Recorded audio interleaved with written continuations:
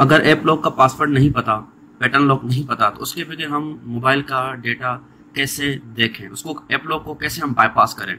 बहुत ही आसान है। बिलफर्ज आपको देख, दिख रहा होगा गैलरी में क्लिक करता हूँ तो इस पे ऊपर पैटर्न लॉक लगा हुआ है।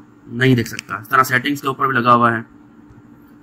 फ़ाइल के ऊपर लगा हुआ है। हर चीज़ के ऊपर लगा हुआ है। तो अब हम इसको कैसे बाईपास करके हम डेटा देखें मोबाइल का? बहुत ही आसान है। आपको करना क्या है? आप मोबाइल में कोई भी अगर वेब ब्राउज़र है, चाहे वो क्रोम है फायरफॉक्स है ओपेरा है, या इसका अपना बिल्टन कोई इंटरनेट एक्सप्लोरर है, कोई भी ब्राउज़र है, आप उसको खोलें। मैं क्रोम खोलता हूँ।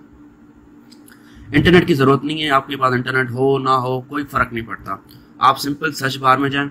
यहाँ पे आप लिखें F I L file colon मतलब ये जो सिंबल है डबल डॉट का, ये कॉलन उसके बाद तीन बार स्लेश ये वाली, ये जो सिंबल है, तीन बार फॉरवर्ड स्लेश उसके बाद आपको लिखना है S D C A R D S D card उसके बाद आपको ये वाला जो इंटर की है, आपको इसको इंटर दबाना है।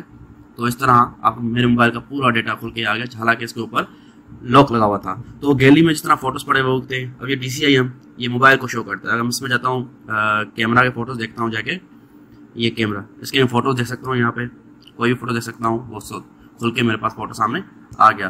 तो इस तरह आप मोबाइल का पूरा डेटा देख सकते हो, कुछ भी देख सकते हो, उसके अंदर वीडियोस, सब कुछ आपके सामने है। इस तरह पूरा डेटा खुल के आपके सामने आ गया, आपने ऐप लोग को बाईपास कर दिया।